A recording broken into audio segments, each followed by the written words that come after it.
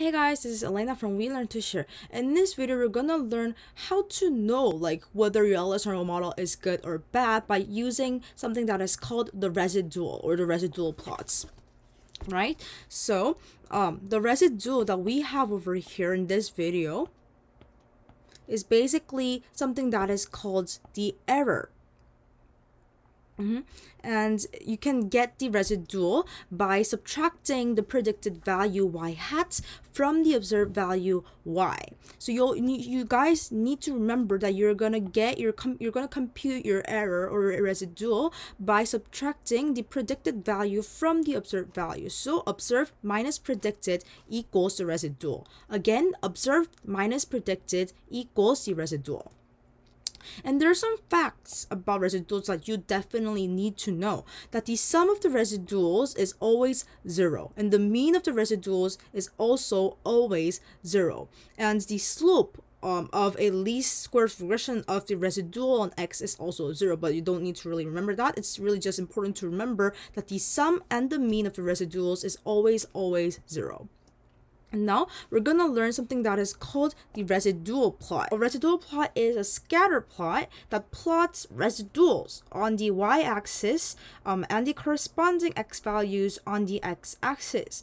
And you can say that our LSR model is a good model if the residual plot shows a uniform scatter of the points from minus 2 to 2.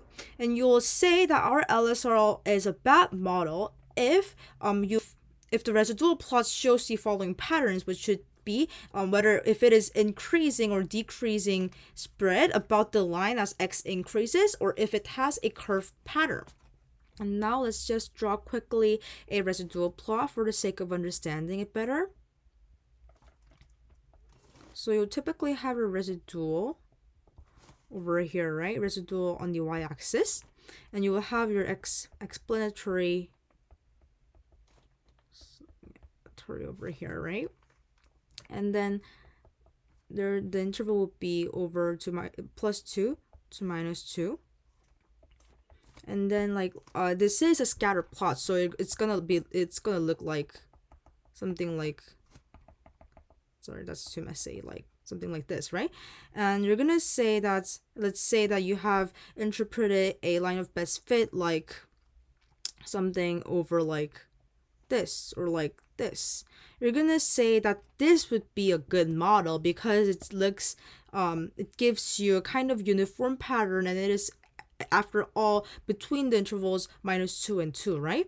But you're going to say that it is a bad LSR model if it gives you a, a residual plot like this. Like something like this. I mean, it looks bad, sorry.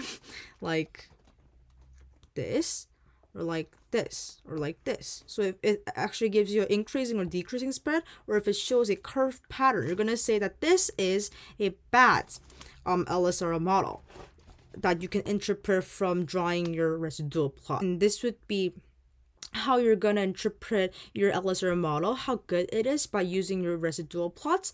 And yeah, this is the end of the video and thanks for watching and please subscribe to our channel and like this video. See you in the next video.